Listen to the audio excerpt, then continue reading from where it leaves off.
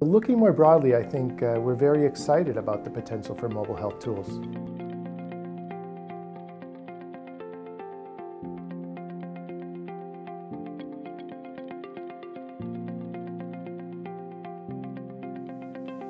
When I think of M-Health uh, as opposed to e-health or telehealth, uh, I personally am talking about what we call asynchronous communication, a fancy term that usually means that both people kind of aren't on the line at the same time.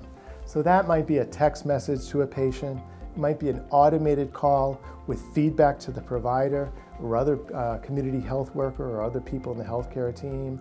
Uh, it can be an app in our own work, we try to go to the lowest common denominator, and that's typically text messages or automated calls that can be used regardless of whether someone can afford or has access to a special device.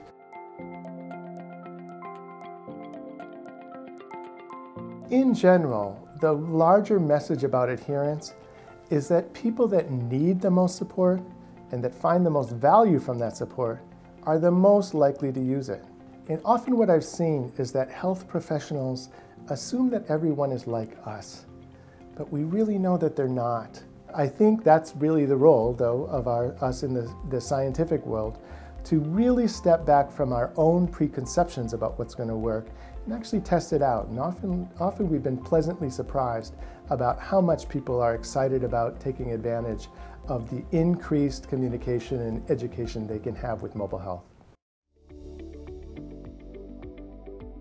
The first generation of mobile health systems that would give feedback to clinical teams uh, had some successes, but limited success, because clinical teams are often overwhelmed by information, and they're overwhelmed by the patients that are out there in the waiting room, let alone be able to respond to the needs of a patient that has a question about their medication, but is out in the community. So through the Care Partner Program, we've tried to engage in a more productive way family caregivers, like adult children, living outside the home of someone with diabetes and give them support. One of the original concerns with care partners was that we'd stress these, these adult children out. They have their lives, they have their kids and jobs. To give them more information about their mother or their father who might be ill might make them feel worse. What we found happily is this actually makes them less stressed. I guess the two things that I would say if health professionals are thinking of adopting mobile health tools. First, suspend disbelief. Don't assume not all the patients are like us just because it might not be something that would work for you or something that you would like to have.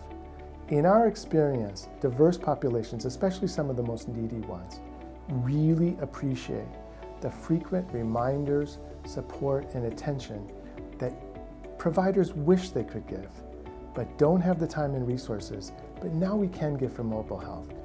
Try to be a little more open-minded. These mobile health tools are a diverse lot of different services that might be useful for some of your patients. So try them out. Ask your patients what they like. And I bet you're going to find some things that will actually make your patient's experience of their self-care support better.